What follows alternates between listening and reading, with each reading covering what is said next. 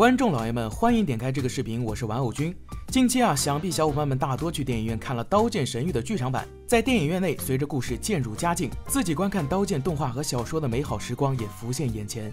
说来也巧啊，十一国庆期间啊，《刀剑》第三季动画化制作的消息正式公布。当然，与此消息共同放出的，还有《魔法禁书目录》第三季动画制作决定的消息。《刀剑》《魔镜》这两部动画的人气可谓冠绝轻改动画。如此一来，这有生之年的梗真又得少一个了。好风凭借力，助人上青天。川原丽连吃河马，到现在就连不关注轻小说的爱好者都知道这俩是谁。只是作品能够达到今日的成就，真的是他们一人所为吗？不在，他们的背后有位神秘人物一直在默默支持。他的名字叫三木一马，一位轻小说编辑。这人为了《刀剑》《魔镜》等诸多动画操心操力，之前甚至为了让粉丝耐心等待《魔镜》第三季的制作，不惜向粉丝下跪谢罪，请他们耐心等待《魔镜》第三季的消息。今天我们就来讲一讲这位三木一马。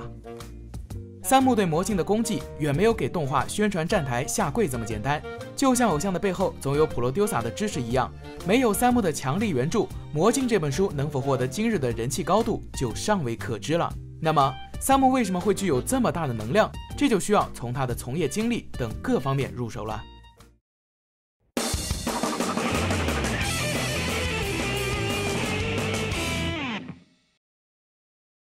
三木一马出生于德岛县，在日本上智大学念物理系。零零年毕业后，他便到角川公司旗下 ASKI Media Works 去工作。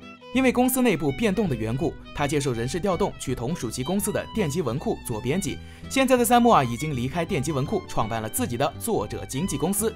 在任责任编辑的这段时间，三木负责的作品有这些：着眼的夏娜、加速世界、刀剑神域、魔法高校的劣等生、魔法禁书目录、重装武器、说谎的男孩与坏掉的女孩、我的妹妹哪有这么可爱、埃罗马尔老师。这里啊，我们只列举了三木负责最具知名度的书，还有一些颇具知名度但年代较为久远的书，这里就不再列举了。作为编辑，三木制作书籍颇有心得。三木在自己的自传中曾经坦言，让作者清楚自己书籍核心要素的最好方法，就是让作者暴露自己的性癖。对，你们没有听错，就是性癖。写过小说的小伙伴都知道，创作的时候时常有着写着写着就不知道自己要写什么的时候，渐渐激情没有了，小说就这么坑掉了。这个问题的根源在于啊，作者写作时偏离动笔前所制定的方针，如何解决的问题？三木给出的解决方案，正是在制定写作方针时与自己的性癖紧紧的绑定在一起。大致的意思是，连自己都无法感到兴奋的内容，无法让作者自己充满力量的写完，一定要让作者自己感到兴奋的东西，如此才有潜力。怎么样？是不是听上去特别神经病啊？先别急着嘲笑。正是这脑回路清奇的教导方式，一部部经典作品和一位位经典角色就此诞生了。先说俺妹吧，最初作者福建司还是新人，他的出道作《十三号爱丽丝》的销量并不理想。就在这个契机之下，福建司开始构思新作。这时候啊，三木给他打来了一个电话，在电话的一头啊，三木开始围绕新书的人设对福建司说了堆不着四六的荤话。这俩开始认真讨论起诸如妹妹、色情游戏。泼辣刁蛮的人物属性等等问题。正当福建老贼一筹莫展的时候啊，三木随口一说：“呃，喜欢色情游戏的泼辣妹子是自己的妹妹。”哎，我觉得这样超级棒的。最终啊，在三木的套话下，福建老贼来了灵感，他打算写关系超级差的兄妹通过玩色情游戏换回兄妹感情的感动故事。听到这里啊，三木忍不住补了个刀，说道：“这莫非就是福建老师的性癖吗？”结果福建老贼啊，不光没有否认，还不要脸的承认了。这就是高坂童奈这个角色以及俺妹这部作品诞生的最初过程。在其他小说的创作中，三木的性癖调教法也无处不在。比如说啊，《刀剑神域》中铜鼓职业这一人物的诞生。在《刀剑神域》的出版中，实际上并没有铜鼓职业这个角色的详细描述。而他之所以会成为后来的样子，是因为三木在开会的时候有意无意的对川原说的一句：“职业这个角色胸部一定很大呀。”原本只是句随口说出的玩笑，结果三木立即发现，哎，这句话有搞头啊！于是他和川原开始一本正经的讨论起了欧派与魅力之间的关系。沿着三木提供的线索，川原终于发现女性魅力的最大体现就是欧派。就这样，穿越燃起了对职业这个角色的爱，认认真真的塑造她。最终啊，职业成为了人气可以与亚丝娜平分秋色的女角色。有一回，三木在咖啡厅里听到有两个女子高中生正在讨论刀剑，一位说：“你认识职业吗？”另一位答：“同人那个胸部很大的妹妹吗？”听到他们的谈话，三木露出了得意的笑容。到现在为止啊，他还常常拿这件事当做标榜宏伟功绩的谈资。自然，三木一句话就让职业变成了世界杯。就算是我啊，也觉得三木足以称得上轻小说界的伟人了。除去童奶和职业，三木还与作者讨论过很多问题，比如泡姐的裙底穿内裤还是安全裤，师奶为什么要戴眼镜，夏娜该不该与比他自己身高还长的大刀作为武器，等等等等。从此以后，三木就将这种协助作者创作的方法总结为性癖说。不得不说，他真的很精神病。他手下的作者更是精神病中的精神病。这种诡异的对话也能进行下去啊！总而言之啊，没有三木的临门一脚，可能无数有血有肉的人物都无法出现。在福建老贼、川原、河马等一系列作者创作故事的时候，很有可能啊，许多核心灵感的来源都与三木一马有直接关系，甚至可以说啊，这些作品是由作者与三木共同出点子，一起发挥的结果。有关轻小说的诸多影响，大多都有三木在背后推波助澜。如今，不少人对轻小说的整体印象都来源于三木做责任编辑的很多作品，因此在粉丝圈，这位轻小说编辑也许是知名度最高的。截止在电击文库离职为止，他已经做到了电击文库的副总编。据三木讲，到二零一五年，他负责的书籍累计总销量已经突破了六千万册。在圈子狭小的轻小说界，这样傲人的成绩足以让三木一马的名字载入轻小说发展历史。不过，你们只以为三木的成就就仅限于轻小说领域，那想的真是太简单了。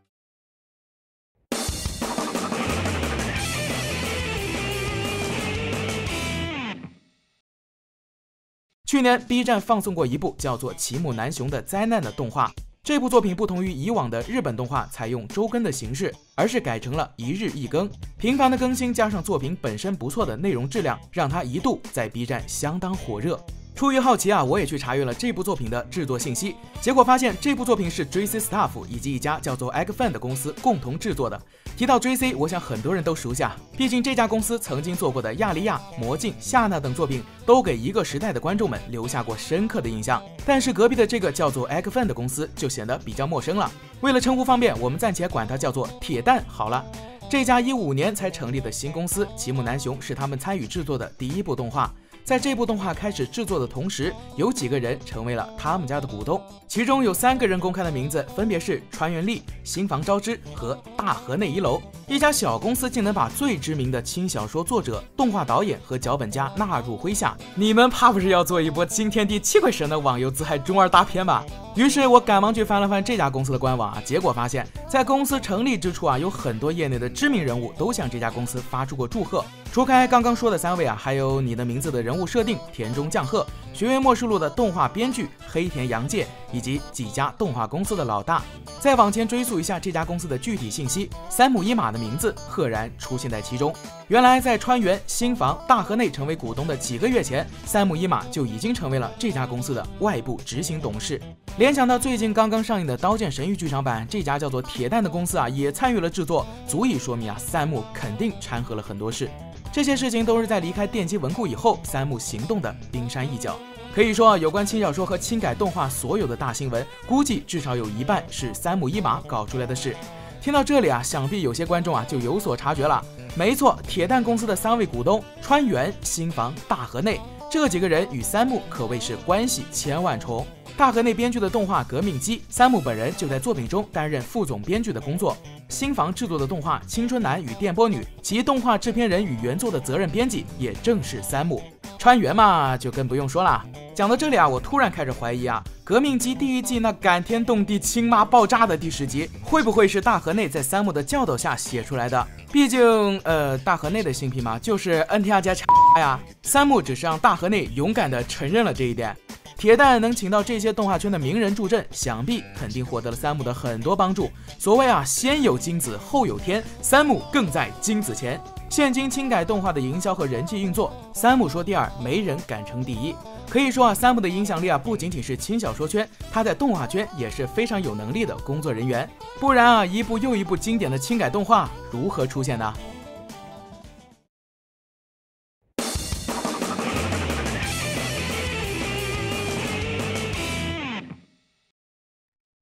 其实，在三木对于轻小说曾有这样的看法：文笔、剧情什么的，对轻小说来讲一点也不重要，关键要有爱。当然，这句话不是要告诉作者们得像蔡悟岛一样用爱发电。以我个人见解啊，这番发言其实阐明了现今创作的困局。总有创作者想写出文风细腻、情节新奇的好小说，只是好小说的标准就是这样吗？三木的这一说法是为了提出质疑。纵观人类创作故事的历史，所有的故事都能从远古的故事中找到原型，其中很多的元素也是万变不离其宗。比方说啊，圣经里就有大量副驾、绿帽、龙傲天的桥段。至于很多美国主流商业电影，也都能从古代神话体系中找到原型故事。也就是说，无论作品怎么写怎么玩，绝对跳不出远古故事原型的框架。我们现在写的东西啊，都是古代人玩剩下的，基本桥段、基本故事框架，基本没有变动。变的只是根据如今文明发展去添加新的血肉而已，在故事层面求新求变是不存在的。正因如此，如果让千面一人的故事写出自己独有的精彩，三木给出的解答是寻找自己内心中的那股激情，找到并且遵循它，尽一切可能尊重读者的喜好，讨好他们。只有这样啊，千篇一律的故事才会变成只有自己才能写得出的故事。所谓饮食男女，人之大欲存焉。